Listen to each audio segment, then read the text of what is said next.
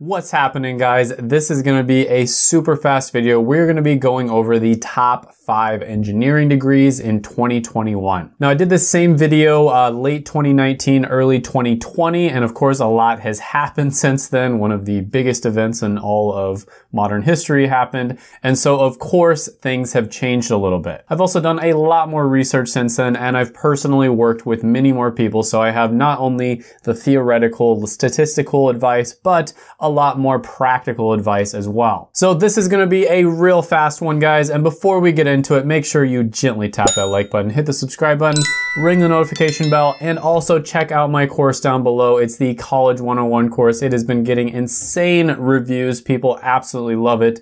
It will change your life when it comes to picking the best possible college degree for you, shaving off sometimes up to three years of the time it takes for you to get a college degree, and doing it all in as fast as possible with the least amount of time, effort, and money. But with that being said, let's jump right in with number five on the list, which is aerospace engineering. Now, all engineering degrees are very difficult. Aerospace is one of the most difficult ones. that attracts super smart people. Now, during the pandemic, this is an industry that did did get rocked pretty hard. I talked about that in my stocks video where I went over the best stocks. It is an industry that got hit very, very hard. However, I expect it to make a strong recovery. But with that being said, aerospace engineering and the types of jobs you might go into are one of those degrees, unfortunately, where it can be very up and down. You know, there might be a ton of jobs when a war breaks out, and then a bunch of them go away uh, when a pandemic happens, right? So it's very up and down, almost like the energy industry. But with that being said, this is a very high paying degree. It's the second highest paying engineering degree behind petroleum engineering. I'd say one of the downsides to this one is it is not as flexible as most of the other ones on this list. But with that being said, if you're someone who is passionate about things that fly through the air.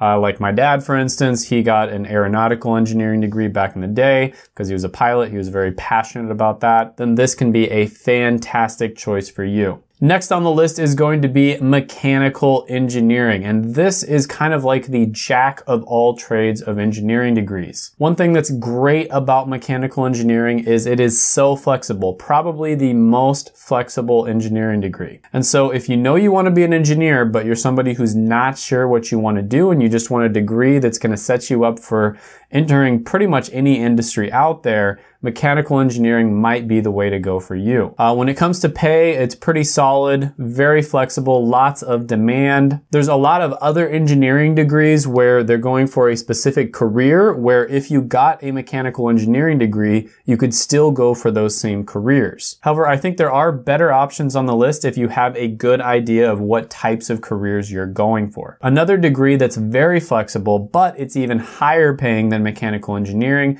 is going to be number three on the list electrical engineering. Not as flexible as mechanical, but still a ton of opportunity out there. Very high paying, one of the highest paying engineering degrees. I'm not going over the statistics in this video because I've already done that so many times in other videos. I feel like a broken record.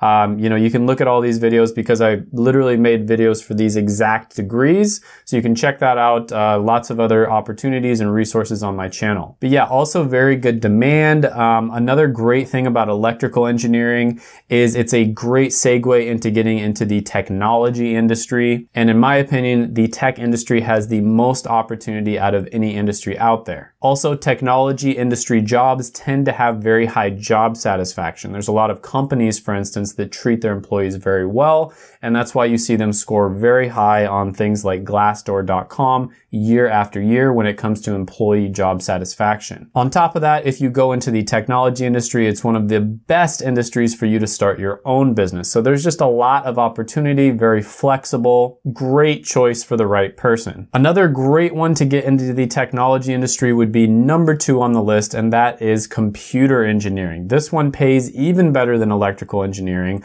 but it's even easier for you to get into technology. Now, a lot of the time people will study computer engineering, you know, the hardware side of things, get a really good uh, feel on that, but they end up working with software. So they might end up becoming a software developer, for instance. But their background in hardware is going to help them tremendously. They're going to have a lot more insight on how devices work. And if you can have the hardware side of things and the software side of things down, that's that's game over. So yeah, computer engineering, solid option. I believe it's the third highest paying type of engineering degree. Lots of opportunity. Same thing with electrical where you're probably going to end up working in the technology industry, which is fantastic. But there's one on the list that's even better that is number one, software engineering. Now, I will say here, I've gotten comments about this before. In some countries, computer science and software engineering are basically the same thing. And there are a lot of similarities there. So, you know, if you get a software engineering degree,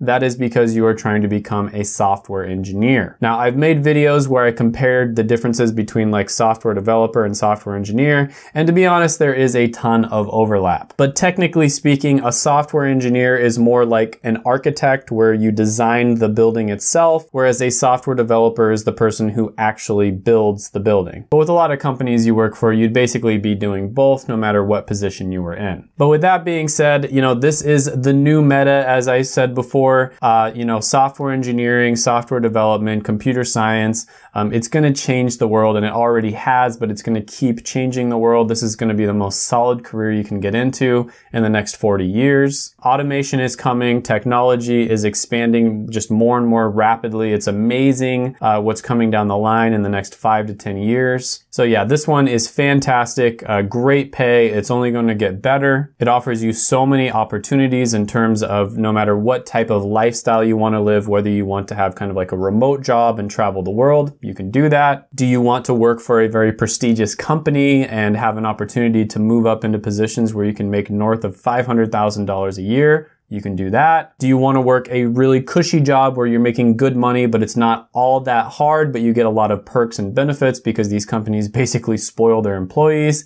You can do that. Or do you want to start your own business eventually and have a really good background and an ability to put yourself in a position where you're probably going to be successful you can do that as well. Just a lot of opportunities for these. And honestly, the top three on this list, um, there's just a lot of opportunities for them in general, but I would say this one is the best. A lot of similarities with the top three on this list though. So that is my list for you guys. Um, hope you enjoyed the video. Check out my other videos right here. I made them just for you. Go ahead, gently tap the like button, hit the subscribe button, ring the notification bell, and comment down below any thoughts, comments, criticisms, etc. that you have on the video, and I will see you guys next time.